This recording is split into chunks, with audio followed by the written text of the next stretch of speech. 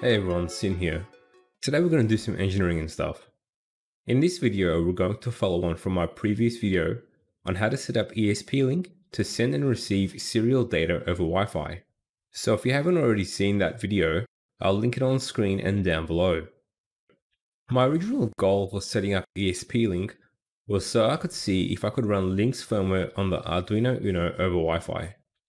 My logic was, if LabVIEW sees a virtual COM port, it should be no different than if I had the USB connected to the Arduino. I proved this in concept in the last video, however in this video we will see if this actually works in LabVIEW.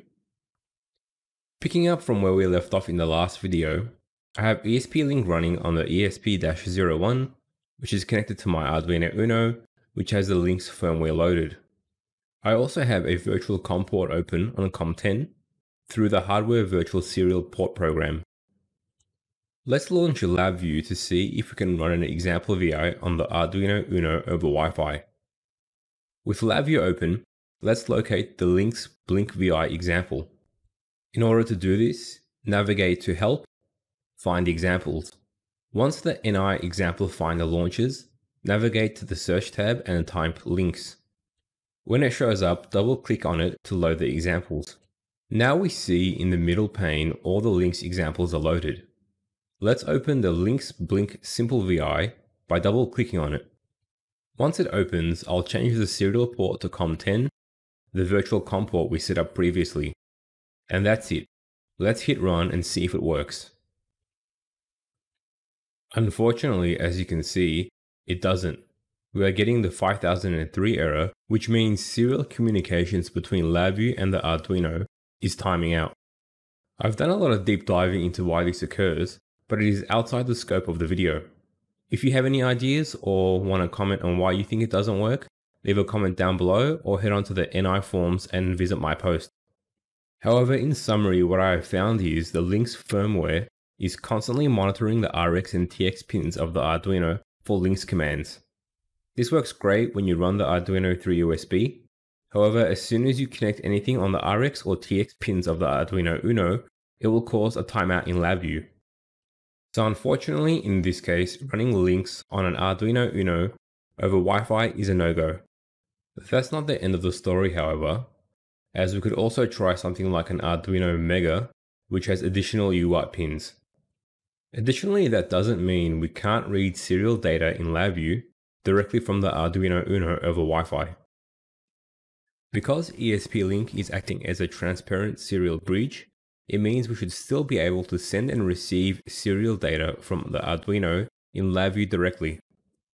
If we open up the example finder again and type in serial and double click it, a number of serial communication examples are shown. Let's open the serial simple VI and see if we read some serial data from the Arduino over Wi-Fi. First, let's save this example VI, as we'll be modifying it later. You want to click the Save As and not Save function, as if you make any modifications to an example, you don't want to overwrite the original example file. Once you're prompted to save, choose the Copy Substitute option. This will save a new VI on your hard drive, close the example VI and keep your new version open. That way, any changes we make won't affect the original example VI. Using example VIs as the base for your LabVIEW projects can be a great way to learn and save time. Now that's saved, let's select COM10 again and run the VI to see if we get any data from the Arduino. When I run the VI, we can see that the serial data is being transmitted as indicated on the Hardware Virtual Serial Port program. But we're not getting any response back because the LINX firmware is seeing this as gibberish. To get anything useful out of this, we will have to upload our own code to the Arduino to handle our own serial commands and do something useful. To demonstrate this, I'm going to use and slightly modify the Arduino switch case 2 example. All this code does is monitor the serial input and turn on an LED based on the case selected. I'll replicate the schematic as shown on the example page which is linked on screen. The case selection occurs if the character received is either A, B, C, D, or E. So we have five cases in total. It will then drive the corresponding LED associated with that case. If no case is selected, the default case will drive all the LEDs low. So if I send these characters through the simple serial VI, I should be able to turn these LEDs on and off. I also added some debug statements to each case in my code to output via the serial console the case we enter. This is a great trick to work out if you're entering your cases properly. So let's upload this code to the Arduino and test it out before we move on to LabVIEW. Once the code is uploaded, let's open the serial monitor and try typing in the different cases to see if we get an output back on the serial monitor. And as you can see, we do, so let's build the circuit and get back to the simple serial VI in LabVIEW.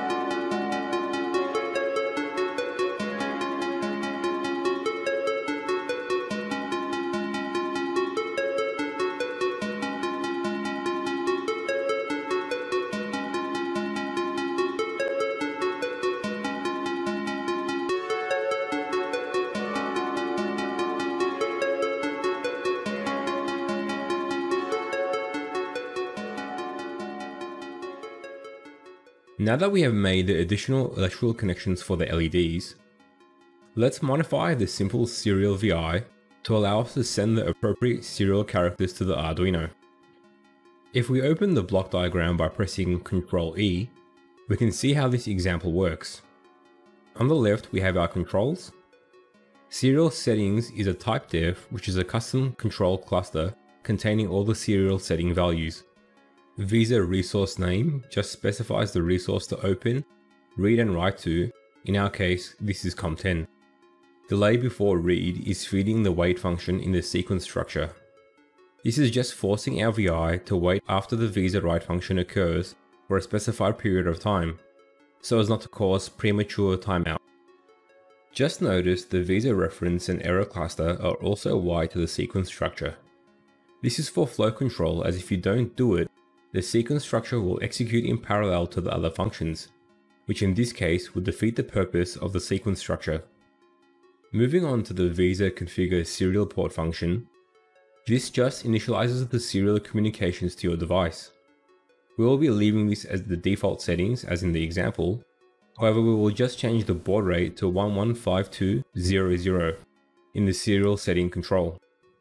Next, the Visa write function will write a command string to your device we are going to change this constant to a control, so right click it and select change to control. Next the visa read function will read a number of bytes specified from the visa resource and output it to the read buffer. Note you have to specify the number of bytes that you want to read. If you don't do it properly, you will not read all the available data being sent by your device. Here the example is using a property node to return the number of bytes available at the serial port to determine this automatically. This doesn't always work, so when you set up your own serial communications, it is wise to enable a termination character of some sort. This way your code will know when the end of the message occurs, so you won't miss out on any data. Lastly, the VI close function just closes out the reference to your serial device so it is not tied up later. Now let's just clean up the VI and test it out.